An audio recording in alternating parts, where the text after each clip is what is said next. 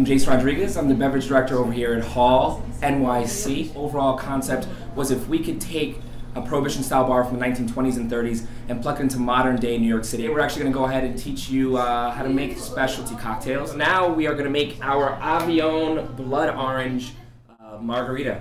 You know, these are takes and riffs on the classics that we already love, but just a little something extra. We'll start off with our citrus first, which is a half an ounce of freshly squeezed lime juice. After that, we're gonna go over to the agave nectar. We go for our blood orange. Again, freshly squeezed, or if you can't, it's all good. You can pick it up. Three ounce, three quarters of an ounce, pardon me. And that one again goes right up to the line, not over. Beautifully crafted tequila, the Avion silver, the Blanco. Um, amazing for the quality of, of what you're having, affordable, very approachable as well too, but amazingly delicious.